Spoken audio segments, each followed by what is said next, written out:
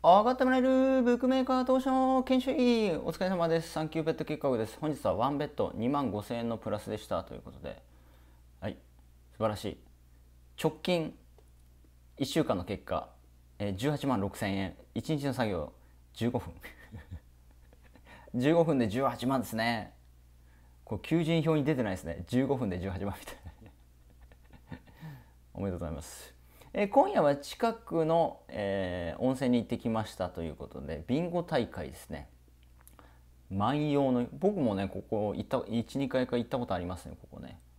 まさかの当たりビンゴ大会で当たり50%割引、はい、ここね昔1回だけ行ったことありますね。はい。ビンゴ大会やってたみたいですね。はい。いや温泉の季節になってきましたね。寒くなってきましたね。はい終わります。